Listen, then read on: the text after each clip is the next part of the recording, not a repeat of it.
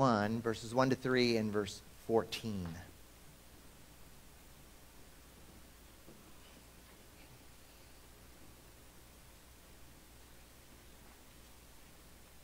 Probably could all say John 1 1 without uh, reading it.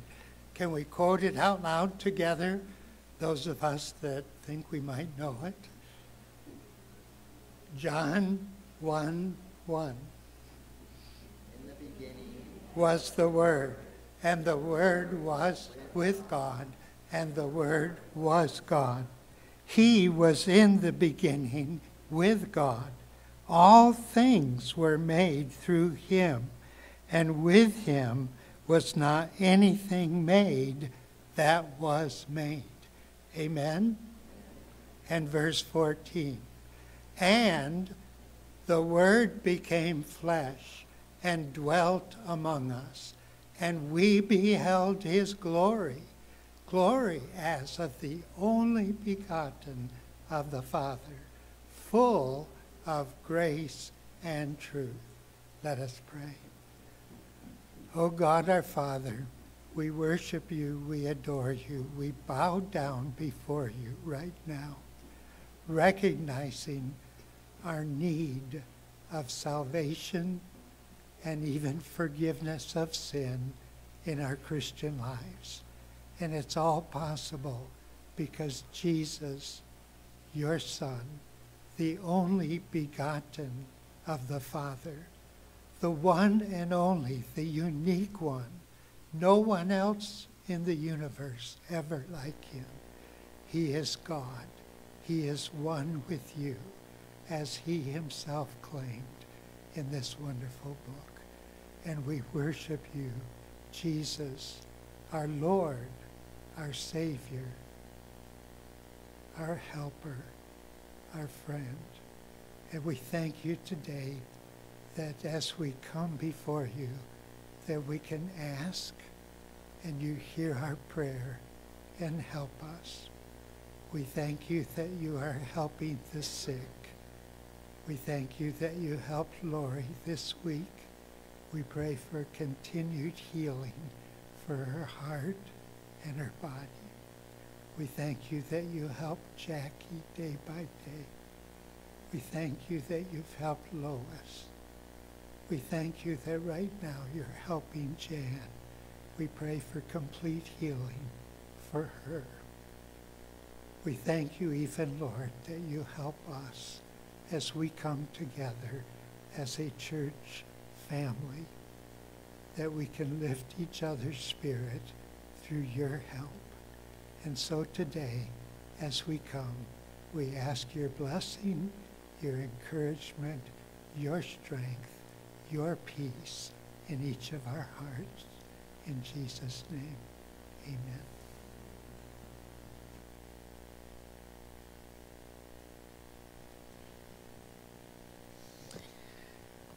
Thank you, Dave. That was fun to uh, read with him and uh, or quote with him. Uh, Today we're going to be talking about the deity of Christ. The deity of Christ. That means that Jesus is God. I had somebody who once said to me, What does deity mean? It means God, that Jesus is God. Now, most people can tolerate a conversation about God. Have you ever noticed that people are very free to talk about God. Because the idea of God is kind of just uh, a undefined entity and they will just throw around their ideas of God just however they want. And because everybody has a different idea of the word God and what it means, then it, it's really kind of uh, just acceptable to talk about God in a general sense. But have you ever noticed that is as soon as you mention Jesus, it changes the conversation completely. There is much hostility towards the name of Jesus. People can tolerate the idea of God, but they cannot tolerate the idea of Jesus, and especially if we affirm that Jesus is God. They're okay with Jesus to a certain point. If you were to say that Jesus is just a prophet, they would accept that. If you were to say that Jesus was a good person, many would accept that.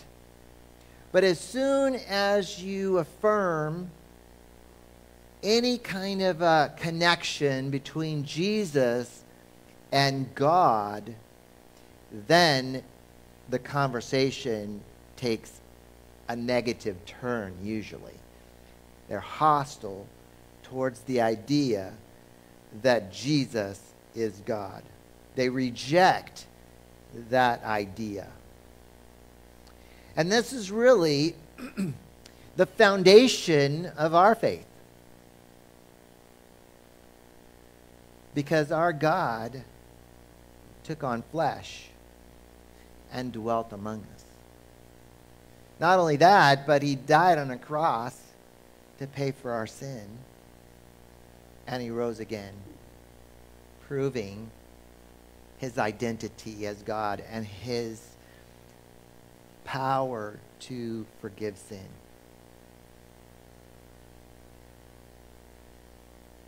Today we're going to make a case for the deity of Christ. We're starting in this new series in the Gospel of John. And it's interesting how that John begins his book with the statement about the identity of Jesus. He starts off with this notion that Jesus is God. Because what we do with Jesus makes a huge difference on where we will spend eternity. Because Jesus said, I am the way, the truth, and the life and no one comes to the Father except through me. Very exclusive because there's only one way to the Father, and that's through Jesus, God the Son, who came in the flesh to die for our sin. So we're going to explore this idea of, our doctrine, I guess would be a better way to say it, the doctrine of the deity of Christ. Now, because of the short brevity of our time, we don't have time to be very deep, uh, but I'm going to give you some tools uh, for your tool belt when you talk to people about Jesus. We're going to start with what John started with, with this concept uh, that Jesus is eternal. Now, this is very important because if we're talking about Jesus being God, then, we ha- then he needs to be eternal. He needs to be outside of time. So, in the few verses that we're going to, to look at today, we're establishing Jesus' true identity. John begins with the words, In the beginning was the Word, and the Word was with God, and the Word was God. Now, many have gotten the wrong idea about the first words in the book of John. Now, they got the wrong idea. Why? Because they don't want to believe that Jesus is God. So they begin by by downplaying these important words that establish Jesus' identity. If you were to give a superficial impression of the English, somehow some people would attribute this idea that the Word, who we will establish is Jesus, had a beginning. And many false religions assert that Jesus had a beginning because in the beginning was the Word. Now, everyone can agree that there was a beginning. Everyone talks about a beginning. There's a beginning. Even evolutionists believe that there was a beginning. Things don't just go on for all eternity, there is a beginning. And everyone establishes that there is a beginning, even their crazy theory of the Big Bang. I said that on purpose. But the point is is that there is a beginning. John affirms the fact that there is a beginning as is described in Genesis chapter 1. John affirms the fact that there is a beginning, that God created the heavens and the earth, that there was a beginning. Now, the word here is translated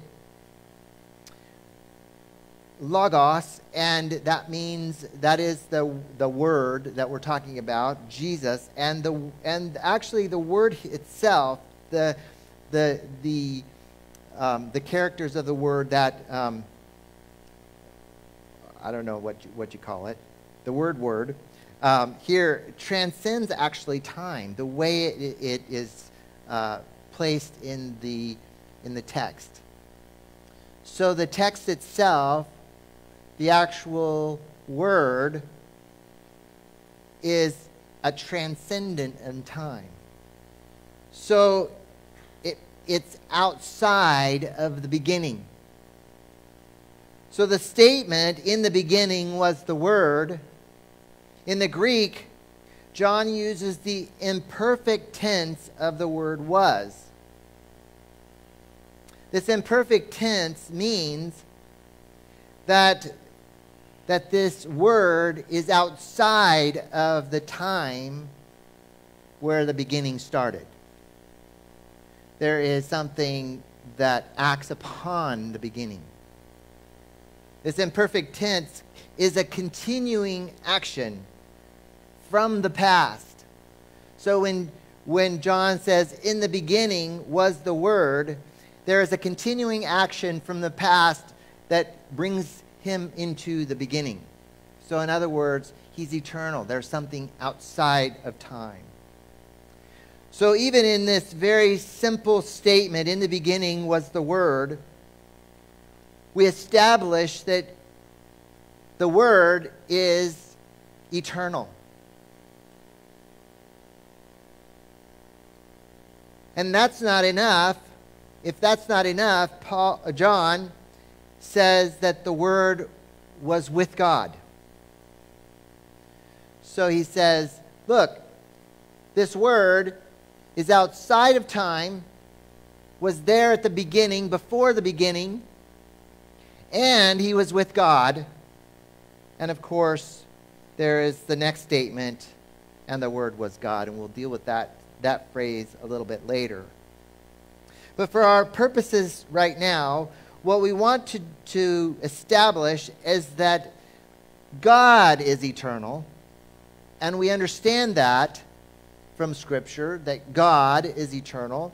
And the interesting thing was when he talked to Moses in Exodus, where the burning bush was going on, and God called himself, I am.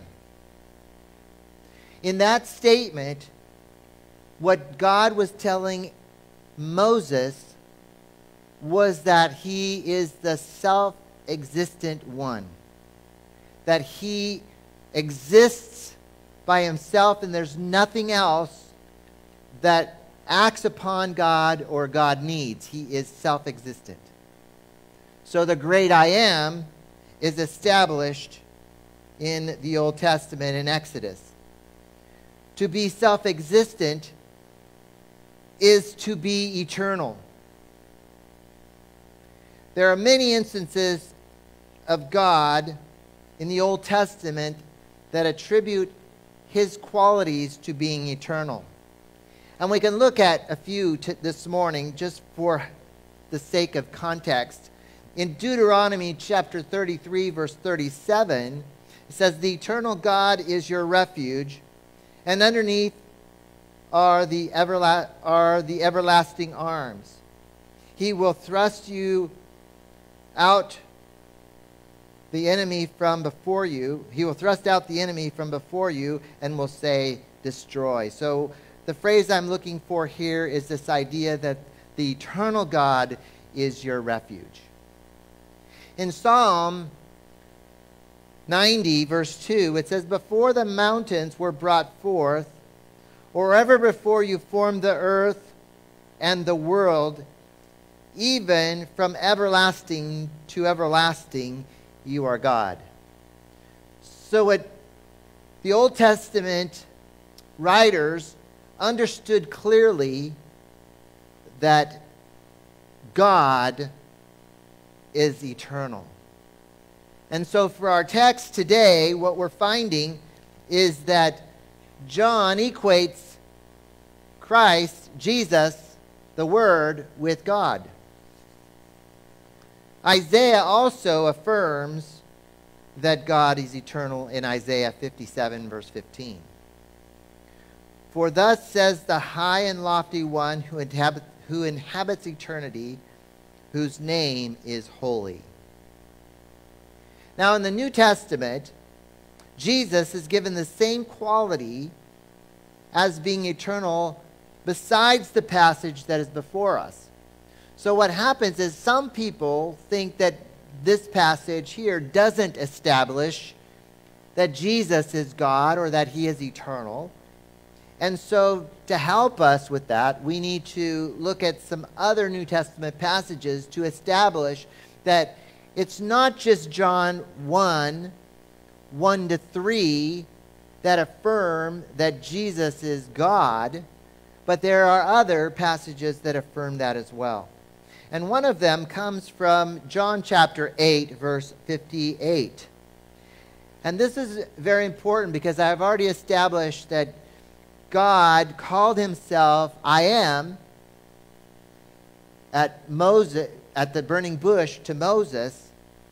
And so here is a statement that Jesus makes to the Pharisees. And he says this Jesus said to them, Most assuredly I say to you, before Abraham was, I am.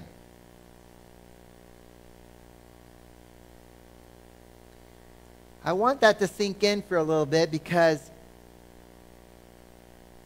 what Jesus is saying is before Abraham was, I am. Do you know who God identified himself to as the I am? Not Abraham. It was Moses. That God named himself I am. So the implications of this is really that what Jesus is saying is that even before Abraham, I am. Now I want to just challenge you on this on this point if you read through the Old Testament, especially if you read through Genesis, re- read through Genesis and maybe mark in your Bible how many times that you find the uppercase word Lord, L O R D, in all uppercase. That is the proper name for God. Yahweh, some used to say it was Jehovah, so you, you're familiar with that, but in more recent times we understand that it's Yahweh. That's the proper name for God. If you go through in, Gen- in Genesis, you will find Yahweh, Lord, in all uppercase letters, all through But it isn't until Moses that he was known by that name. He identified himself as Yahweh. Moses wrote the first five books of the Old Testament. That's why you find the word Yahweh all the way back to the very beginning. Because Moses understood that it's the same God that revealed himself to Moses on that mountain is the same God who created all things.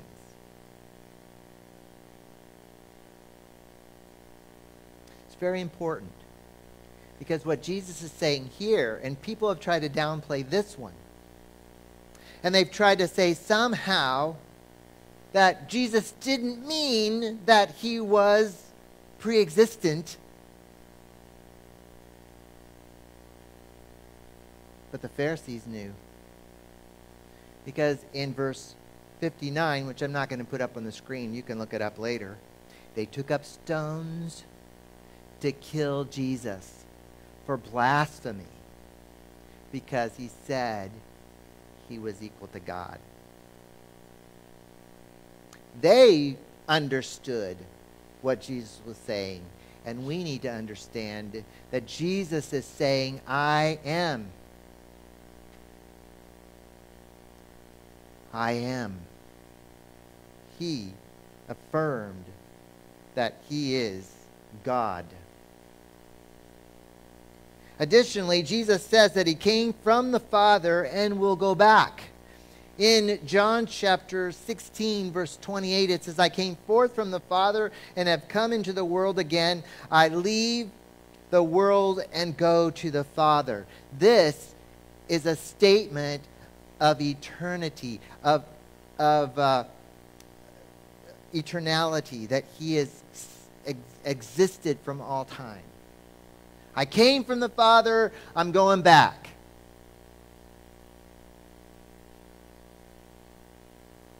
In Philippians, we read that Jesus left heaven and humbled himself and returned to his rightful place. Philippians chapter 2, verses 5 through 11. Let this mind be in you, which is also in Christ Jesus, who being in the form of God did not consider it robbery to be equal with God. That form of God is the same essence.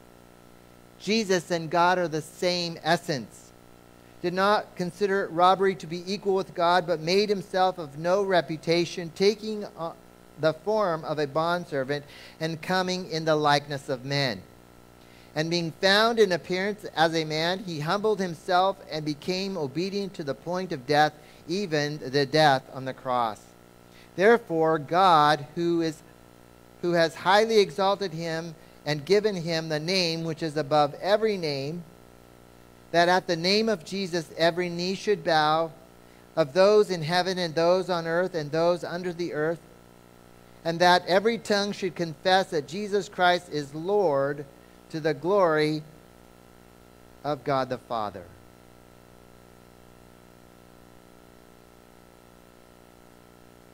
Jesus never ceased to be God when he took on humanity. This is so important for you to understand that Jesus took on humanity. God, the Son, took on humanity, did not give up his deity. 100% God, and he took on humanity and became a man.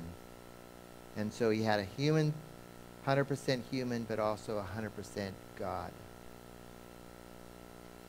So if we go back to John chapter 1, in this introduction to who Jesus is, in verse 2, we actually get another way that John helps us to identify Jesus as God.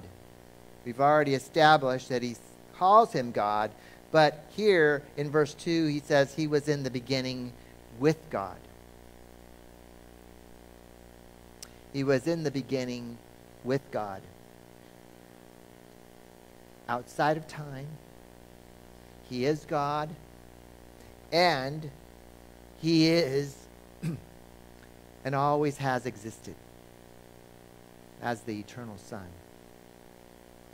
One God and three persons the Father, the Son, and the Holy Spirit. And then in verse 14, we have the introduction of the Word who became flesh, and it's clear from the text that he's talking about Jesus. And the Word became flesh and dwelt among us, and we beheld his glory, the glory of the only begotten of the Father, full of grace and truth.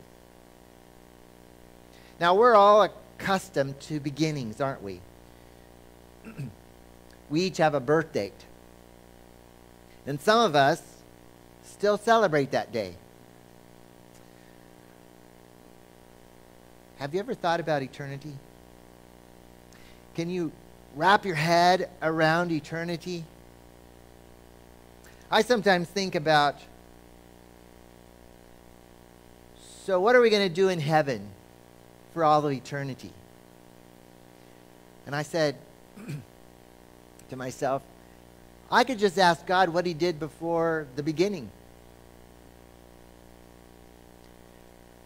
He's got all eternity future to tell me about eternity. I don't know how that works because there's no time before before he started.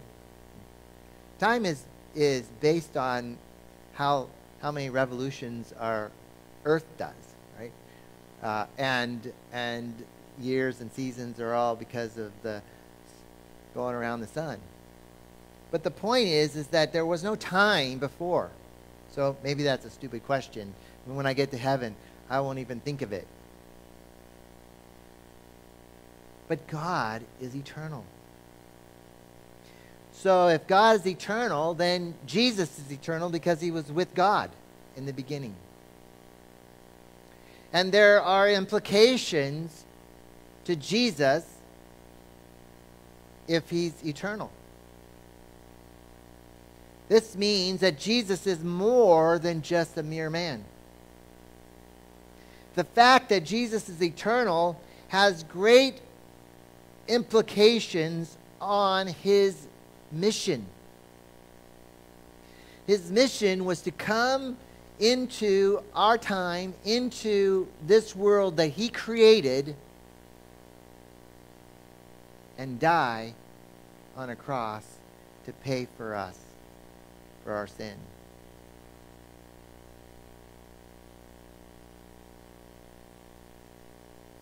So that we could have forgiveness. Jesus could not accomplish anything on the cross if he was not God. I want that to, you to think about that. It's not just that Jesus lived a perfect life and took our place, which is important.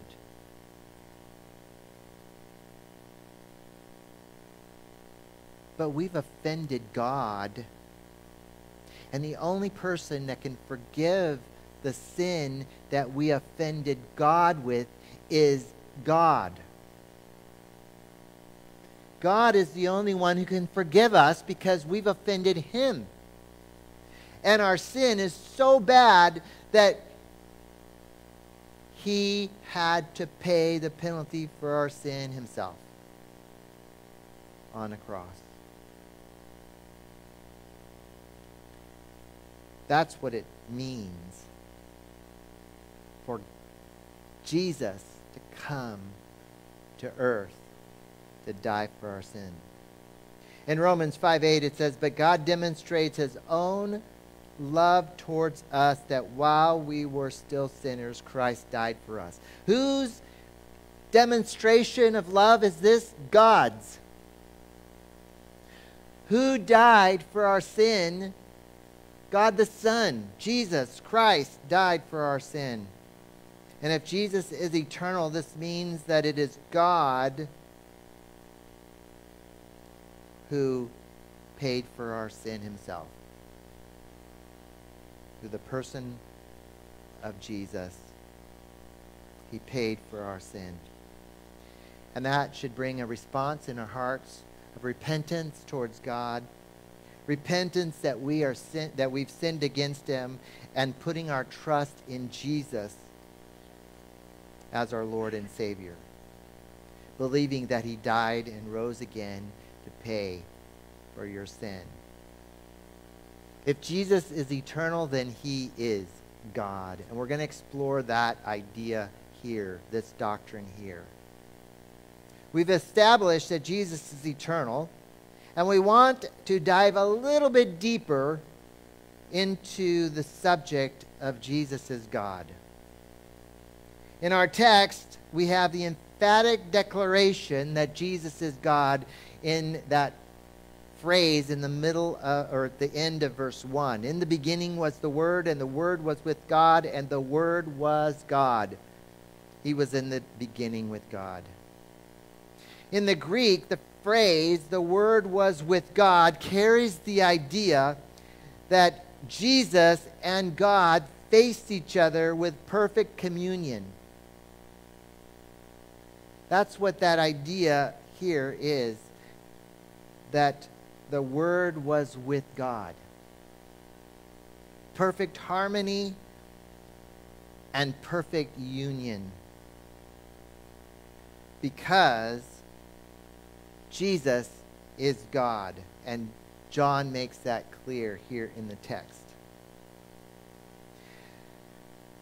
Now, the Jehovah Witnesses, with their New World's Translation, have placed an article, A, in front of the word God, and they translate it, and the word was a God.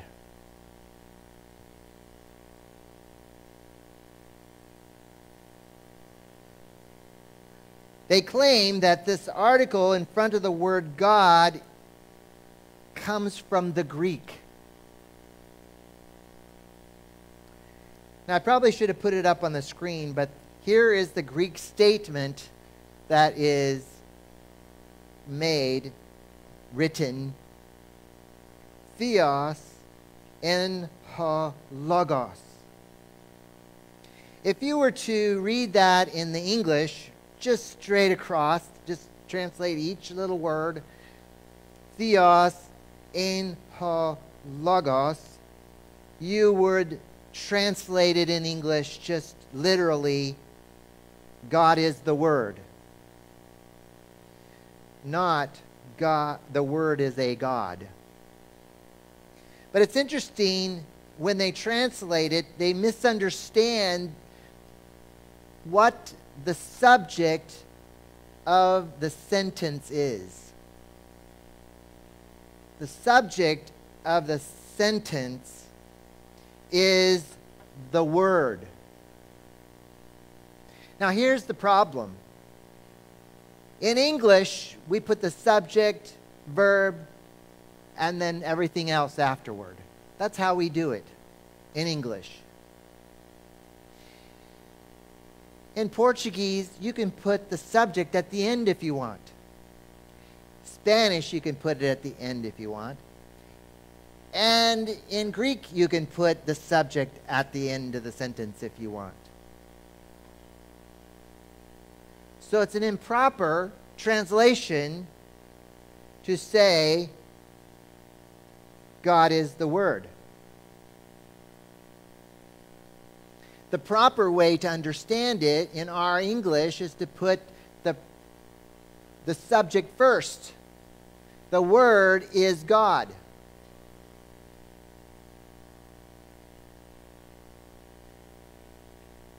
So their Greek scholars are wrong.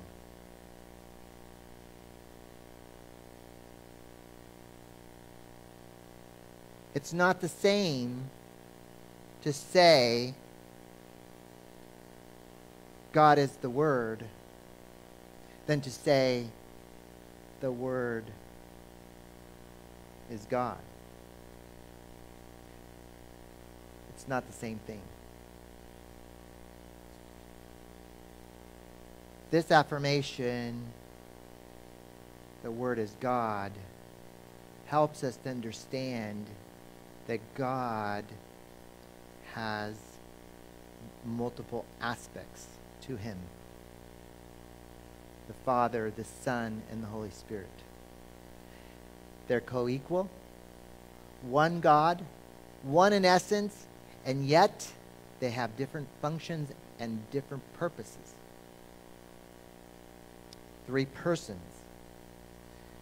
We can't look at that today. Last Sunday night, we were talking about Bible interpretation methods after the, after the service, and that's called the study of hermeneutics, and how important the study of Bible interpretation methods are. Poor Bible interpretation methods will always lead to a wrong understanding of the text. The Bible has one interpretation, and we need to make sure that we're clear on what that interpretation is. Otherwise, we'll end up Jehovah Witnesses or Mormons.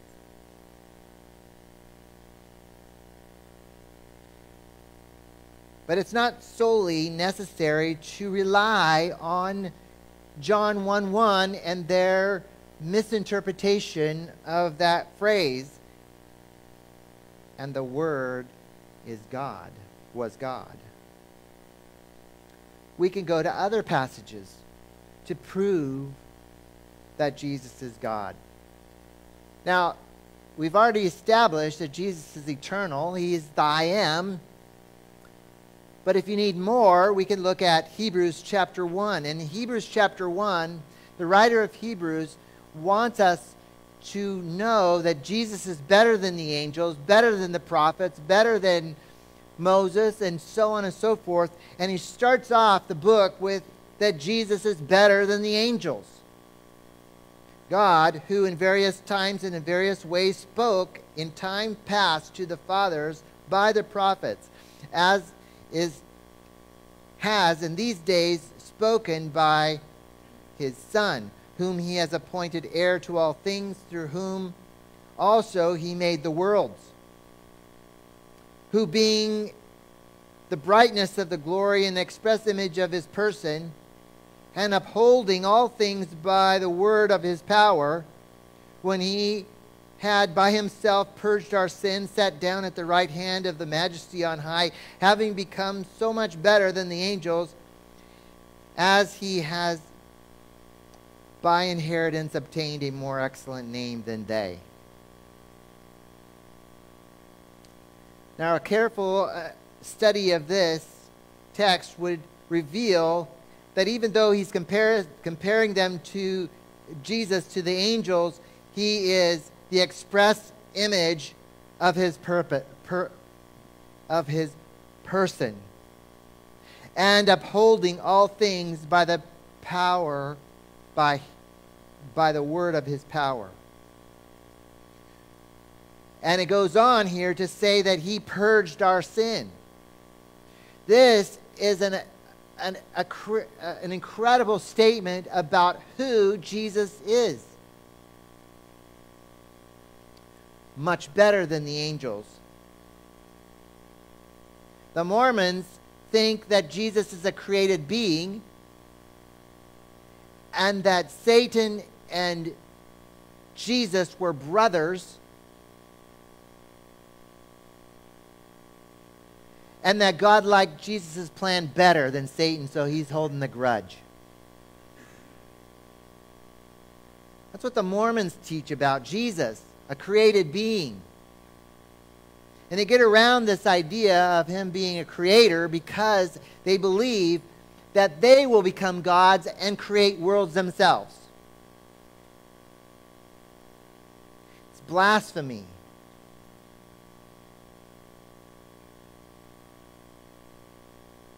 Jesus is God. And here in Hebrews chapter 1, verse 3, we see that he is the express image of his person. At Jesus' birth, he was called Emmanuel, which is translated God with us. A prediction from Isaiah chapter 7, verse 14. And it says, Therefore, the Lord himself will give you a sign. Behold, the virgin shall conceive and bear a son, and shall, be, and shall call his name Emmanuel, which means God with us. Matthew 1:23. Besides, there are several New Testament passages that are quoted in the Old Testament passages about Yahweh and attribute them to Jesus. So they quote Old Testament passages and say, This is Yahweh. If you go to the Old Testament, you would see that word in that text, and they are assigning that Yahweh to Jesus. And Peter does that when he assigns the title to Jesus that David used in Psalm 110, verse 1. In Acts, he says this For David did not ascend into the heavens, but says himself, The Lord said unto my Lord, Sit at my right hand till I make your enemies your footstool.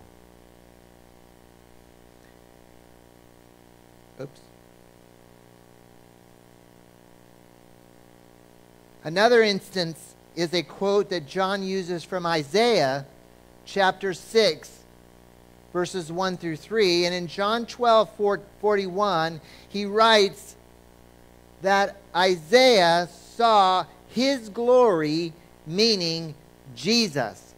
John 12, 41. These things Isaiah said when he saw his glory and spoke of him. So when Isaiah saw the, the throne in Isaiah 6, and he falls before the throne, and I am undone, that scene, the seraphim are, are sing, you know, saying, Holy, holy, holy is the Lord God, right? And that whole scene is there. And Peter says, We beheld his glory. Jesus. Imagine what Isaiah saw before the throne of God in Isaiah 6. Then for Peter to attribute that to Jesus is a wonderful admission of Jesus' identity. What does this mean? It means that God came to pay for our sin on a cruel cross. Today, we're not going to deal with the Trinity. We can't. But it's important to know that there's one God in three persons the Father, the Son, and the Holy Spirit. God the Son came to earth, took on humanity, lived a perfect, sinless life, and died on a cross to pay for our sin, and rose again.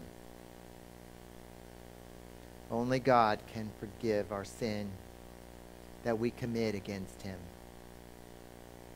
Our sin separates us from God, but he provided a bridge that will fix that gap between us and him. And that's Jesus.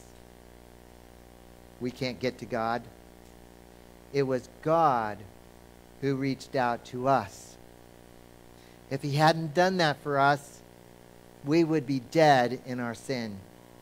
Ephesians 2 4. But God, who is rich in mercy, because of his great love which, with which he loved us even when we were dead in trespasses, made us alive together with Christ. By grace you have been saved, and raised us up together, and made us sit together in heavenly places in Christ Jesus. That's what awaits believers. People who have put their faith and trust in Jesus and repented of their sin. Because of Jesus, we can have eternal life in the future. We have a beginning. Jesus had no beginning. He always existed. He's God, but he gives us eternal life to be with him for all eternity. Have you repented of your sin and trusted Jesus as your Lord and Savior? If Jesus is God, if he is eternal, then we would expect that he is the creator. John makes it takes us back to the beginning in verses 1 through 3 in order to understand who Jesus is, we have to go back to the beginning. Since Jesus has no beginning, then we have to go back to the begin to our beginning, which is creation. And Genesis records that God created the heavens and the earth. In verse 1 of Genesis 1, in the beginning God created the heavens and the earth. And John declares Jesus' connection with, with creation because he is the creator. Verse 3 All things were made through him, and without him nothing was made that was made. Outside of time, eternal, God, the Creator. There was nothing created before He created the world. This is further proof that Jesus is God because we affirm that God is the Creator. We find that Jesus is God and our Creator. And the Creator came into creation.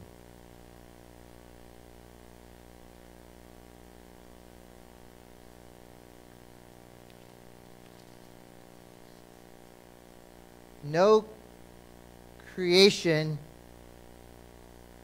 is re- creation is reserved for God alone who created all things seen and unseen. For he is the image of the invisible God the firstborn over all creation. For by him all things were created that are in heaven and on earth, visible and invisible, whether thrones or dominions or principalities or powers. All things were created through him and for him. And he is before all things, and in him all things consist.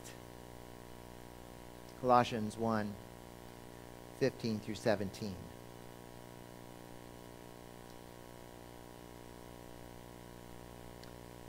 Just so there's no confusion, the cults want to say firstborn means that he was born, had a beginning. Firstborn is not here about being the first to come into existence. It has to do with inheritance. Throughout the Bible, we have many cases where the right of inheritance was given to someone other than the firstborn. The right of inheritance is not about birth order.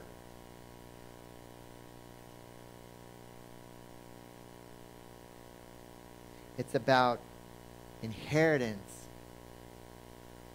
The firstborn over all creation. He inherited creation because he created all things, and in him all things consist. He holds the universe together. Scientifically, there's no explanation for the atom to stay together. What holds those little electrons so tight to those uh, neutrons and protons in the middle? What holds it together? So that we have trees and mountains and rocks and people. There's empty space in the middle of these, and they have to do all kinds of things to get that ele- little electron off, and they call that the atom bomb.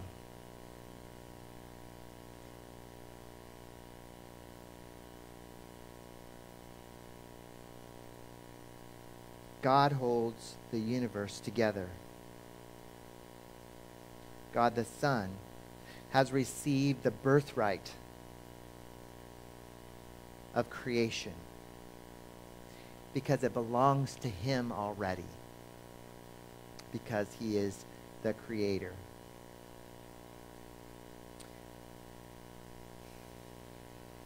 I want you to think about this as I conclude.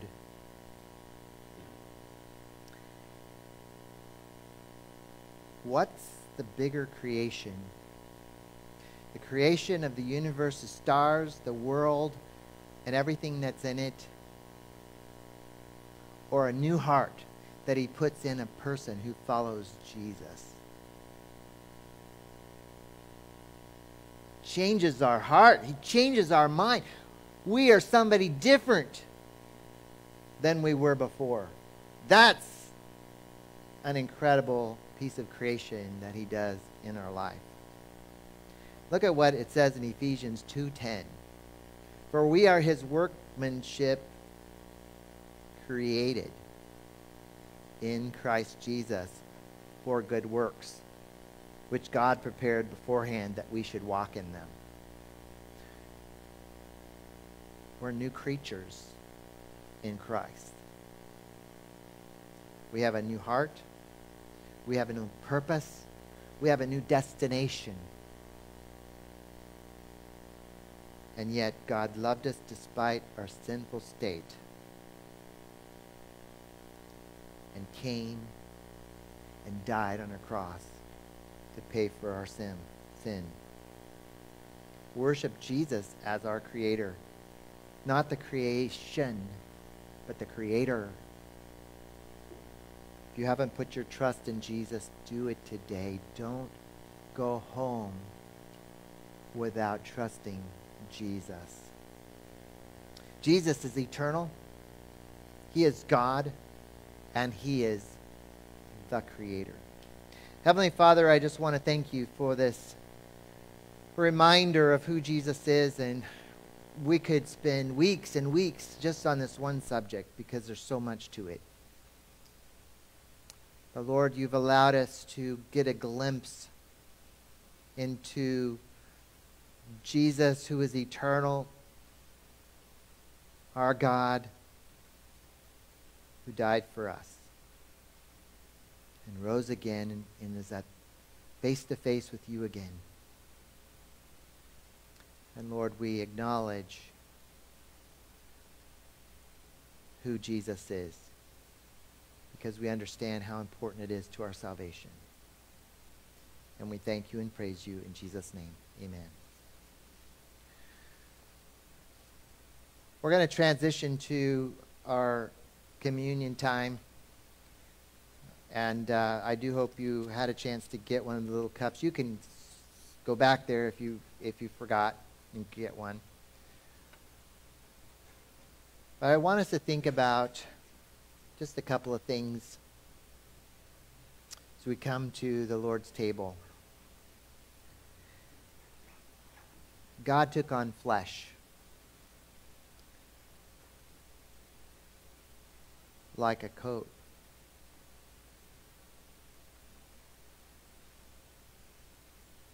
And that flesh was torn. And his blood was spilled. When we think about Jesus and the communion and what these elements represent, we are reminded of the great sacrifice. Now, God didn't have to do this. He didn't have to pay for our sin. He could have just wiped out everybody at the flood. Could just wipe out Adam and Eve and start it over.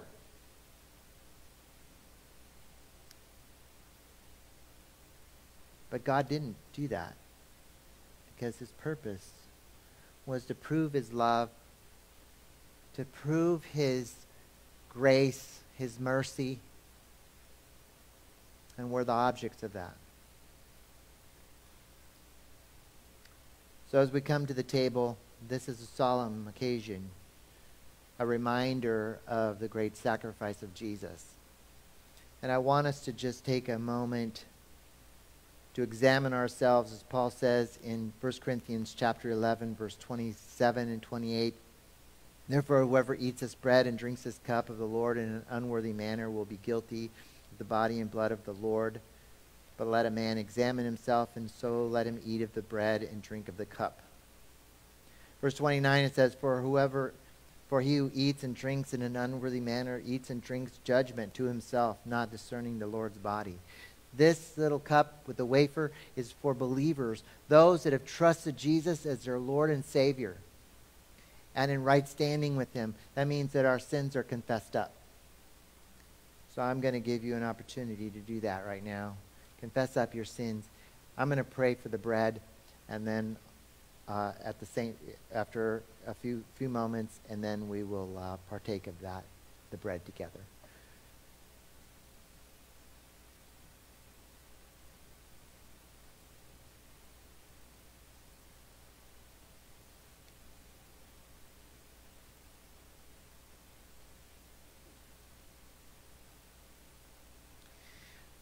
Lord, we fail you often. And without the blood of Jesus and his body broken for us, we would be lost forever. Thank you for creating us and thank you for providing a way for us to be saved. And we acknowledge that we are sinful and that we acknowledge that we're sin- that we have sinned against you. And we also thank you for your forgiveness that you've offered. And Lord, as we take this bread and we're reminded of the body of Jesus that was broken for us.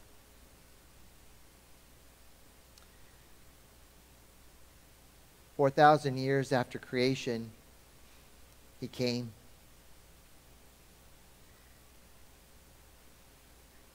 Two thousand years ago, and we're waiting for his return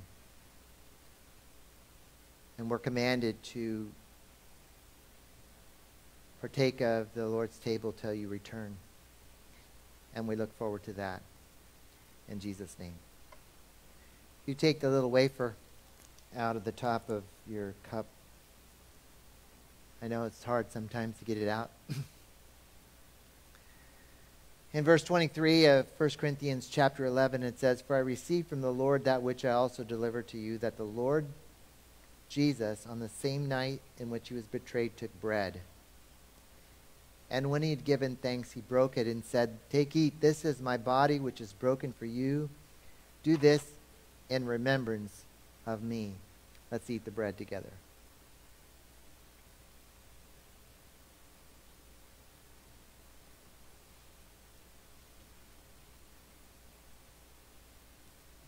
By that simple act of eating the bread, we are acknowledging that we are in communion in oneness with Him. We acknowledge that His death on the cross meant something to us. And the same is true of the cup, which is, represents His blood that was spilled for us on the cross. It's red so that it reminds us of the color of blood. Have you ever thought about God created the grape the very beginning, knowing that someday he would use this as a symbol of his blood? And as we drink, we are reminded that we too partake and accept his blood spilt for us. Heavenly Father, we just want to thank you for the blood of Jesus that was built, we can't imagine what that would be like.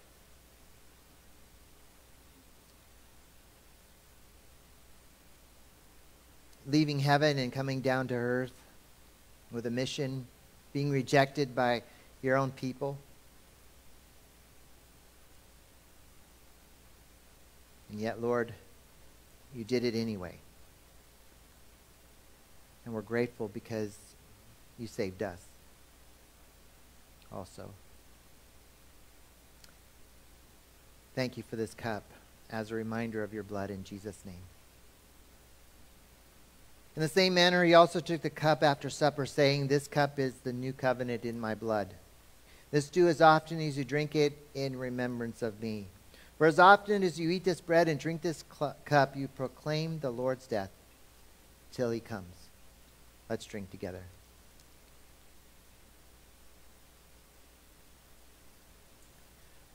Oh, come, Lord Jesus.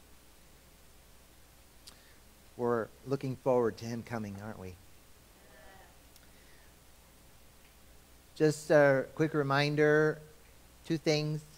The, the benevolence offering is the offering plate in the very back on the table. Uh, if you want to give for our deacons fund, uh, don't forget your regular offerings go in the box. And then there's the, the, the sign up for our VBS. And there's some categories you can say, I'm interested in doing this, this, or this. You can mark all of the boxes if you want. Uh, but uh, so we can fit you in wherever needed. So that'd be great, you know, if you were willing to do all of them. But uh, we're, you can only be in one place at a time. So with that, let me close us in prayer. Heavenly Father, we just thank you and love you, Lord. Uh, it's humbling. As we come, as we leave today, Lord, uh, we're reminded of the message of the cross goes to the world, and we are leaving this building to go into the world, so to speak. Let us take with us the good news of Jesus. And even though it's controversial, Lord, it's always been and it always will be. And we, and we love you and we know that you have people prepared to hear the message. In Jesus' name, amen. You're dismissed. Thank you.